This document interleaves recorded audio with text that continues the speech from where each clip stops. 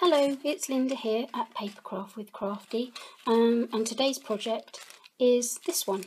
I'm calling this my chocolate box clutch bag for want of a better term. If you can think of something better then let me know. Um, anyway, I've got this box, it's kind of triangular in shape and it has a magnetic closure which just snaps shut here like that. Uh, and when it opens you can see it's fair old size. There's an awful lot of chocolates in there. I've just sort of put something in there to give you an idea of the size of the box. Um, you can see here on these corners that um, I've punched out a pretty detail using the new um, curvy corner trio punch here from Stampin' Up, which is in the new uh, autumn winter catalogue, seasonal catalogue. Um, so that's my box and I'm going to get on now and I'm going to show you how to put one together. Um, you can see here I have heat embossed in clear embossing powder. This beautiful design all over my my bag, my box.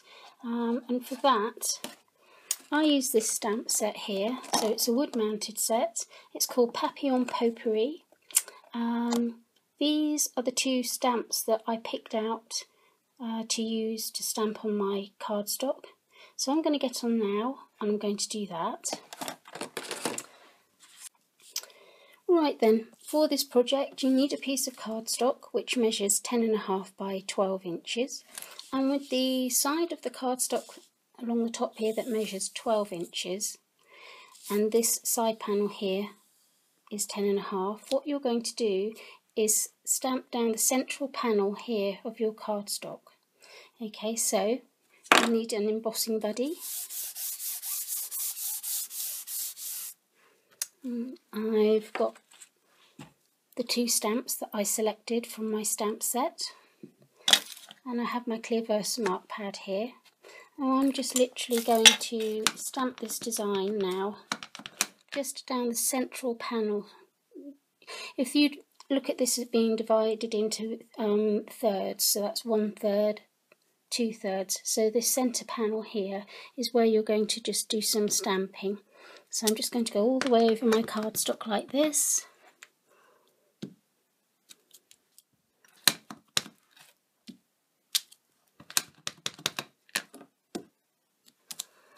take my little butterfly and fill in some of these gaps. Okay, and then just going to grab my clear embossing powder and I'm just going to cover it in, cover my images with it, like that. You can see there's a few areas I've missed.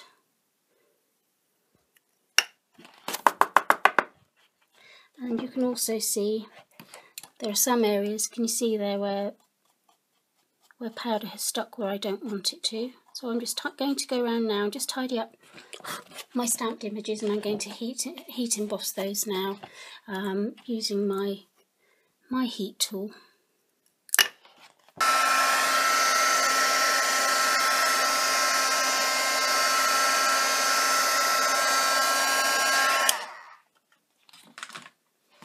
Okay, so everything's now set. Um, I'm just ready for us to do some scoring and some cutting. So bring in my board here, my Simply scoreboard. And what have I done with my stylus? There we go. So with the um, piece of cardstock that measures 10 and a half inches along the top of your board here, you're going to do some scoring at three quarters of an inch, three and three quarters, six and three quarters, and at nine and three quarters.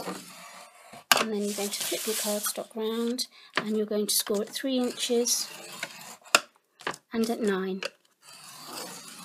Okay, and now you can see that you've got all of your embossing or your design, however you choose to do it, down just down the centre there of the cardstock.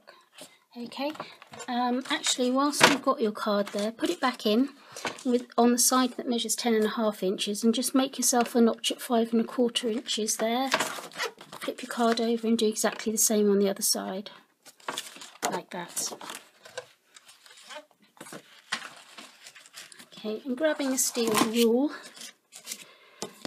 just going to score a line from this corner here up to that notch and back down.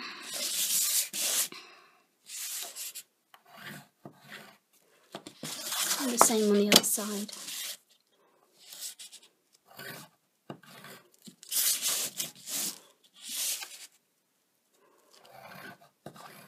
So that's all of the scoring done and now all we need to do is go around and burnish all of the score lines.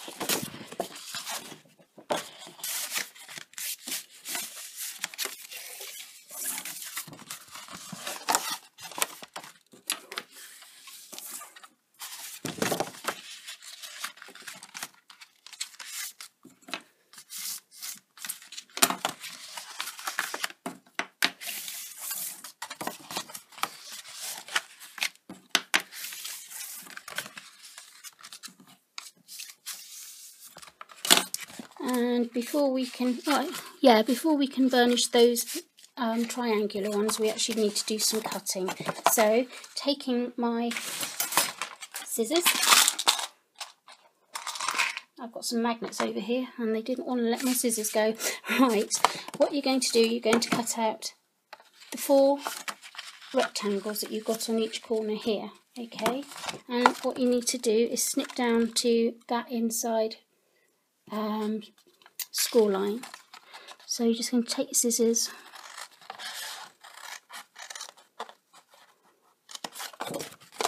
and then get rid of the triangle, I'm um, sorry, the rectangles.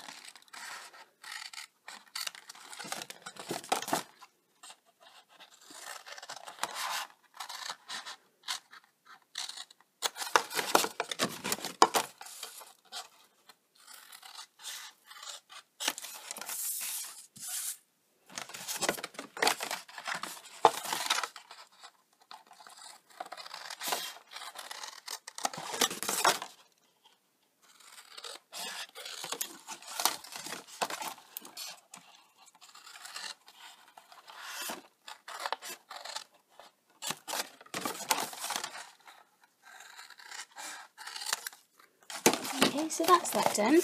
And now you're able to just burnish these score lines here.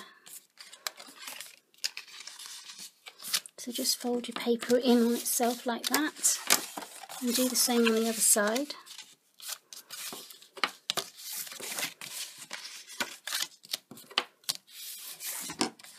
Okay, and that's everything prepped now.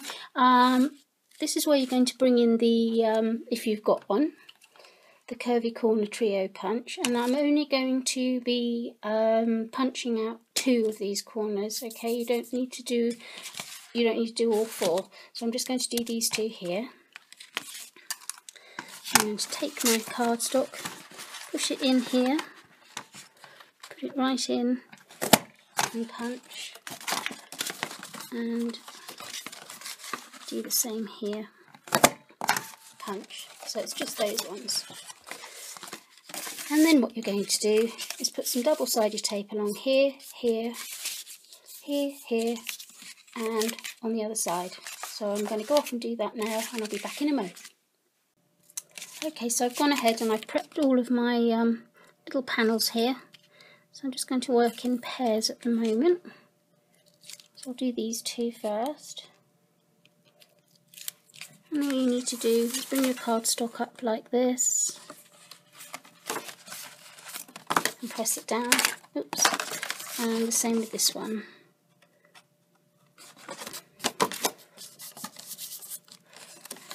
And then with this side as well.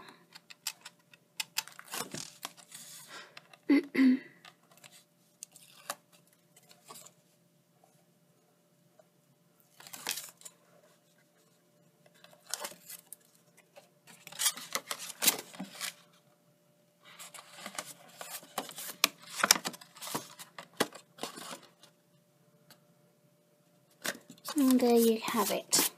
That's the basic box formed now. Um, so you can see it comes together like that. Um, so we now need to look at just dressing it and putting on the magnetic clip. Alright, so to make up this pretty little um, closure here, I have used my flower shop um, stamp set and I used this motif here. Um, there is a knack to uh, using this particular stamp with the Pansy Punch um, and there's a really good tutorial um, which shows you exactly how to do it, how to line it up so you get the perfect cut every time uh, by France Martin. Um, so have a look out for that. I'll put a link um, for that on my blog uh, so you can follow that and see exactly how she does it. But I've already stamped out and I have heat set my image here and I'm just going to use my Pansy Punch now just to punch out the flower like that. I have here, I found this in my stash, pretty little um, embellishment, which I'm just going to mount in the centre of my stamped flower. And then I've got here my one and three quarter inch scallop circle punch. I have my two inch punch so I'm just going to punch out one of those and one of those, like that. So I should be layering that. And whilst I've got this piece of cardstock, I also have here my note tag punch. So I'm going to punch out one of those, like that.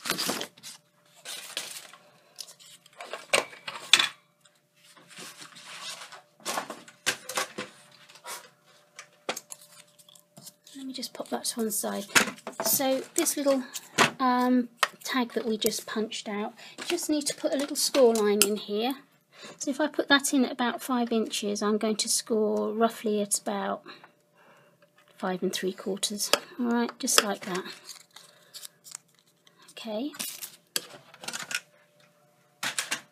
So I've got that, and I've got these. So I'm just going to, like I say, layer these on each other. So that one's going to go on there like that. And then this one will sit on this circle like that. And then what I'm going to do is put some double-sided tape on here.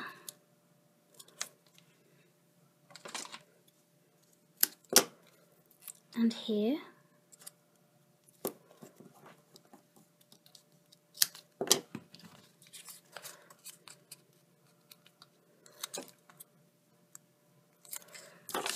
Bring my box back in and fold it down like that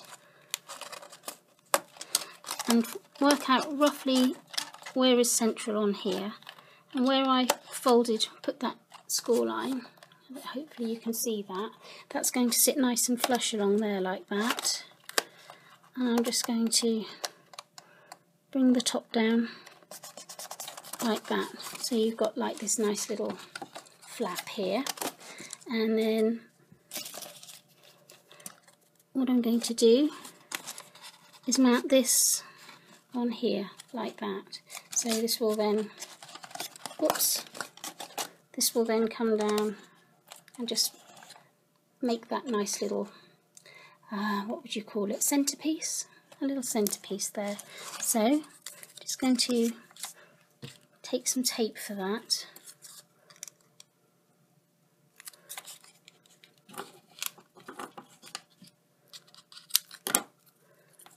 and put a couple of pieces on.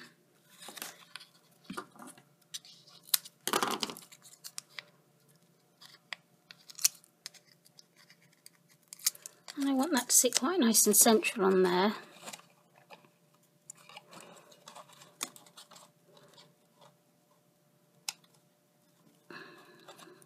like that. So that's going to come across like that. And it's just now a case of putting on the magnet.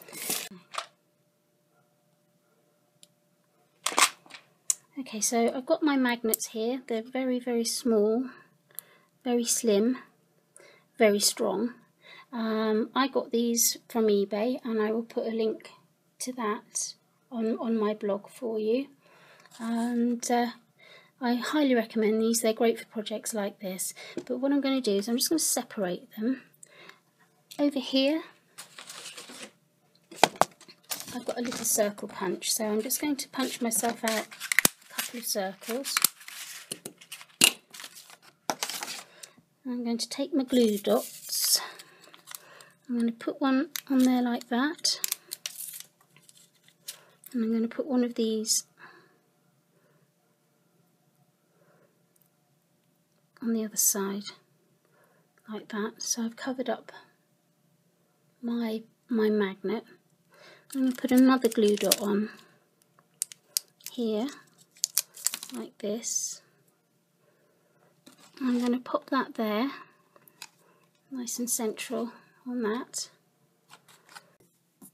Okay, and then I'm going to take my other magnet um, and I'm just going to stick that on there like that. And then I'm going to take a glue dot and pop it on the back. So you've now got like a little sandwich here.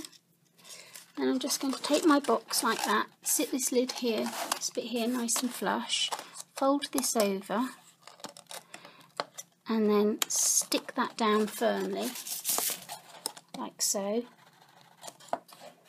and lift this okay? So now you can see that that's going to snap shut. Whoops like that. So you've got quite a nice firm closure there now I'm just going to finish off by taking my other little circle put a glue dot on the back of that and I'm just going to, oh, I don't know what that is, I've just discovered something disgusting on the back of my finger. so there we go, that's that. Nice firm closure on my box. So um, I hope you found that easy to follow. Um, hope it didn't confuse you too much. These are great magnets. Like I said, I will be putting a link. I've actually got a link to um, my supplier on my Facebook um, somewhere as well. So I'll be putting the Facebook link for that as well as his eBay shop on, on my blog. So hopefully um, if you need to get hold of some of those, you'll find it nice and easy to find. Anyway, I hope you've enjoyed this project. I've enjoyed showing you it and I will be back with another one for you shortly. All details for this box will be on my blog which is www.papercraftwithcrafty.co.uk and any of the products that you've seen here that I have used that you might like to get your hands on can be purchased via my online shop which you will also find on my blog. So thank you for watching today and I'll be back with another project for you very shortly.